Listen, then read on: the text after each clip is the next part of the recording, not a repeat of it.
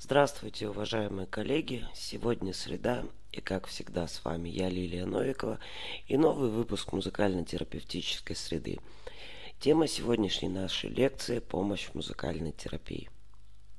Если основная цель музыкальной терапии все-таки терапия, чтобы помочь клиенту, нам с вами важно точно знать, какова природа этой помощи – но прежде чем заняться проблемой определения помощи конкретно музыкальной терапии, полезно вернуться к повседневному использованию слова.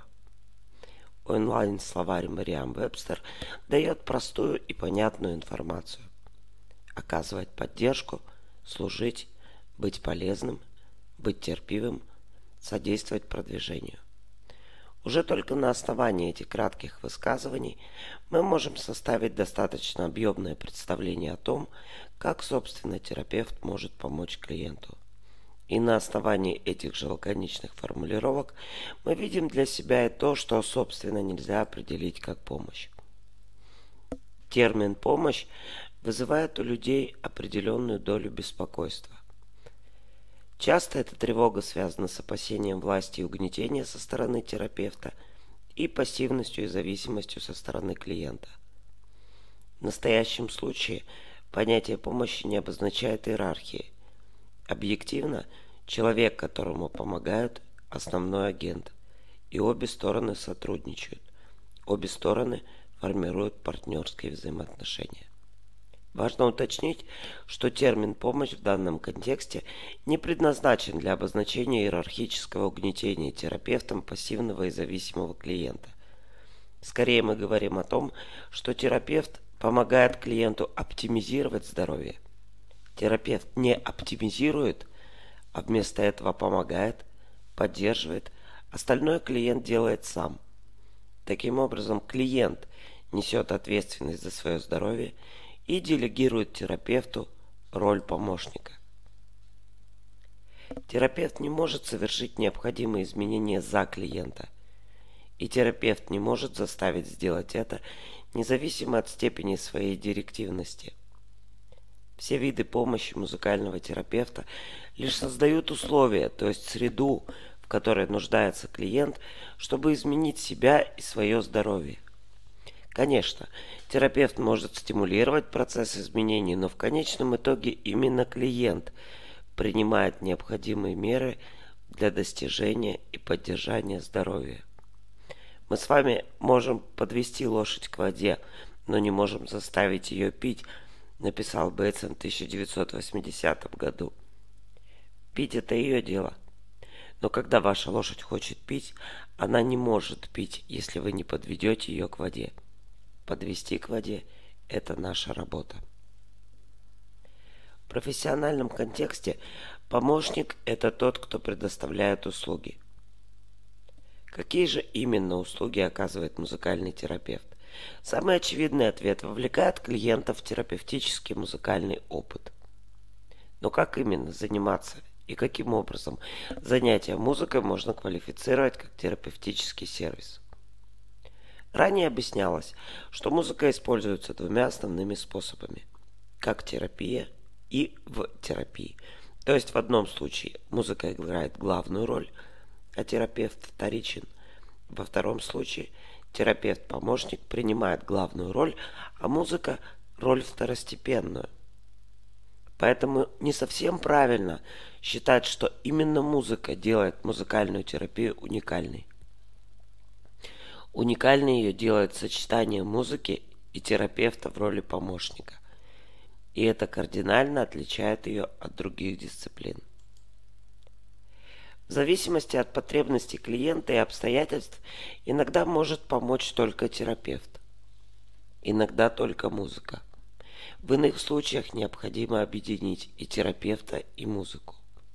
Имея это в виду, давайте рассмотрим клиническую практику, чтобы понять, как музыкальные терапевты используют музыку и себя, чтобы помочь клиенту.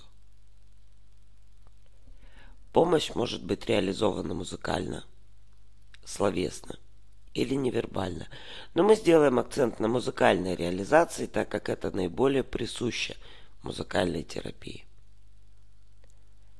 Первое, что нам необходимо – это быть с клиентом. значит быть доступным другому человеку, насколько это возможно и уместно, открыть себя опыту другого человека, понять обстоятельства человека, чтобы увидеть проблему, чтобы сопровождать этого другого человека, предлагая помощь или поддержку, руководить и в случае необходимости заботиться о другом человеке. Музыкальный терапевт должен думать как музыкант, чтобы быть с клиентом. Например, когда пианист сопровождает соло вокалиста или инструменталиста, он следует за солистом, поддерживает интерпретацию. И музыканты понимают меня, как это происходит. Аккомпаниатор находится как бы на втором плане, солист на переднем плане, но концертмейстер незаменим в оказании помощи солисту в исполнении произведения. Терапевт существует для клиента всеми вышеперечисленными способами но только в отношении потребности в здоровье и только в контексте процесса музыкальной терапии. И тогда неуместно быть терапевтом другими способами и в других ситуациях. Оценка в музыкальной терапии. Следующий этап. Необходимо понять потребности и ресурсы клиента. Оценка направлена на помощь как терапевту, так и клиенту в определении потребностей и потенциальных ресурсов. Стремление к пониманию клиента является неотъемлемой частью процесса оказания помощи. Как терапевту, так и клиенту необходимо выбрать правильное направление совместной работы. Когда потребности клиента и его ресурсы определены, терапевт лучше понимает, как конкретно он может помочь и какие ресурсы он может использовать в процессе оказания этой помощи. Следующий момент сопереживания. Сопереживать клиенту. Быть способным идентифицировать и понять, что другой человек переживает. Это может включать в себя одинаковую или сходную реакцию тела, эмоций, общность взглядов, действий.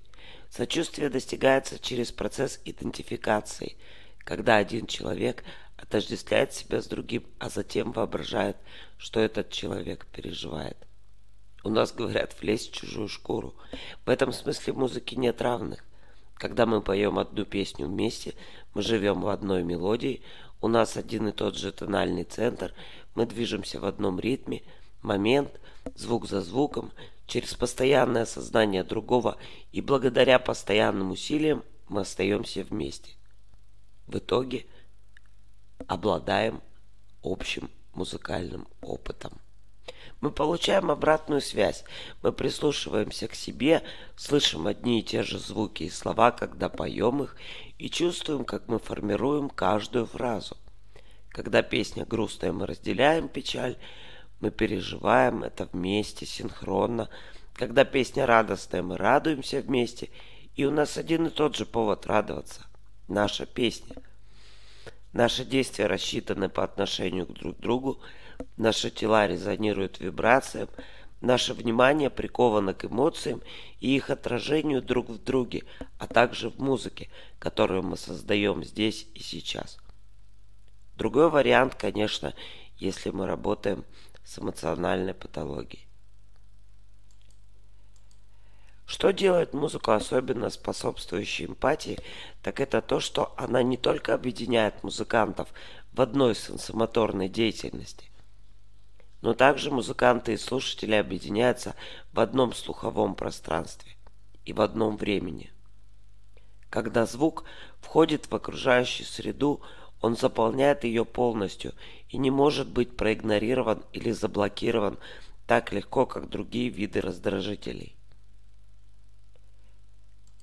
Эмпатические техники существуют как в активной, так и в рецептивной форме музыкальной терапии. Подробно мы поговорим о них на очном курсе или на семинаре, сейчас только упомянем. Например, в активной музыкальной терапии терапевт может использовать такие техники, как имитация, синхронизация, размышление, включение – Эмпатические техники существуют в пассивной музыкальной терапии, рецептивной я ее называю. Например, принципы за принятие.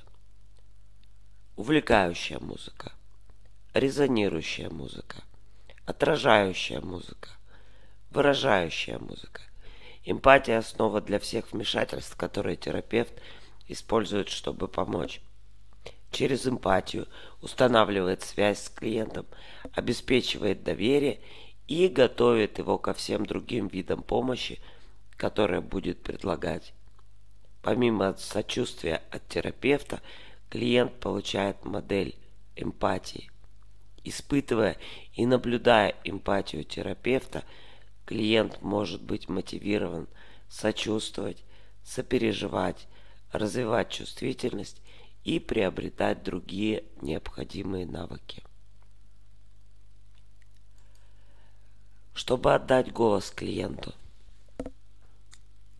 Клиенты часто приходят на терапию, потому что им нужно выразить то, что они испытывают, и потому что музыка предоставляет множество возможностей для этого.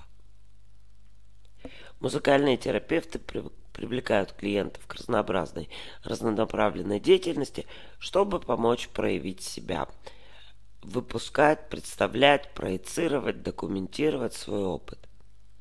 И вот музыкальное самовыражение отличает музыкальную терапию от других модальностей. Только в музыкальной терапии у клиента есть возможность выразить себя через звук. Пение, игру на музыкальных инструментах и творческие акты, импровизировать и сочинять. Музыка – это искусство выражения себя в звуке. Через это мы превращаем внутренние ощущения тела, движения, чувства и идеи во внешние звуковые формы, которые в свою очередь имеют физически измеримые параметры. Бикарное самовыражение очень важно, когда у нас есть сложные чувства – которые мы не в состоянии облечь в подходящую форму, а также чувства, которые мы отвергаем. Когда мы слышим композитора или исполнителя, мы можем либо идентифицировать, простите, себя с ним и испытать выход чувства как собственного, или становимся частью их чувствования, но не идентифицируем чувства как наши собственные.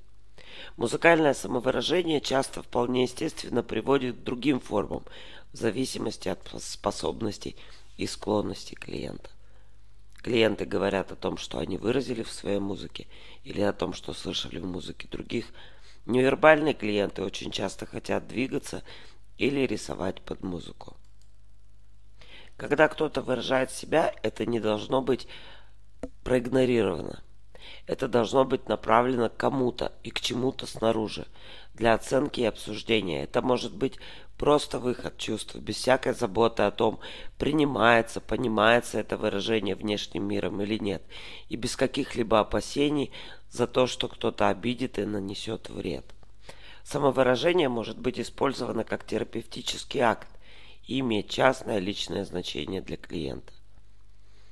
Музыкальное взаимодействие и общение, напротив, связаны с вовлечением внешнего мира – это процесс действия и воздействия со стороны других на взаимной основе.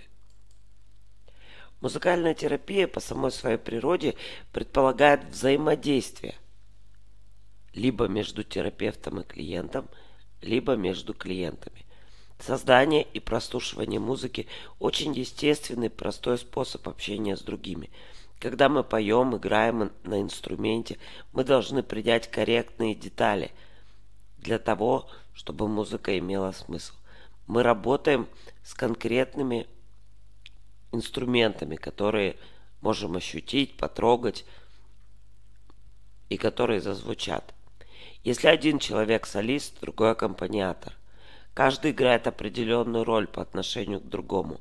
Солист ведет, а концертмейстер следует.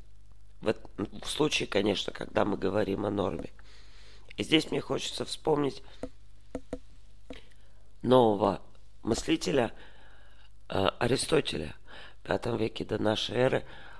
Он писал, что театр – это искусство подражания, музыка – это искусство подражания, танец – это искусство подражания. Чему в данном случае подражает музыка? Музыка подражает действию – Терапевт действует, клиент действует, музыка действует. И в этом действии клиент и терапевт принимают на себя определенные роли. Может быть, эта роль находится на расстоянии от клиента. Может быть, она совершенно для него нова. А может быть, эта роль клиенту не подходит. Ронда или канон предполагают, что каждый играет роль солиста, но в разное время. Может ли ваш клиент играть роль солиста? Музыка полна ролевых отношений. Каждая композиция или импровизация похожа на диаграмму, которая определяет роль каждого человека и отношения между частью и целым. Но что в данном случае роль? Роль – это образ, роль – это маска или роль – это действие. Обо всем этом мы поразмышляем в нашем следующем выпуске – а сейчас мне хочется проститься с вами и пригласить на прослушивание следующей среды, которая тоже будет посвящена теме помощи. Тема объемная, большая, и получилось, что мы находимся только в самом начале ее освоения. Всего доброго. С вами была Лилия Новикова и музыкально-терапевтическая среда.